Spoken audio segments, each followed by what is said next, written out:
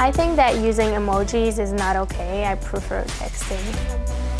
For me, people that ask for follows are weird.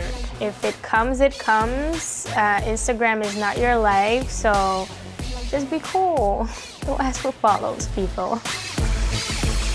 The way you take a good selfie is when you try to find a good angle and lighting is very important. I usually take pictures of my food when I have a cheat day because I love sweets and I'm happy when I can eat them. Of course, every woman wants to be sexy, but it's just there's like a limit.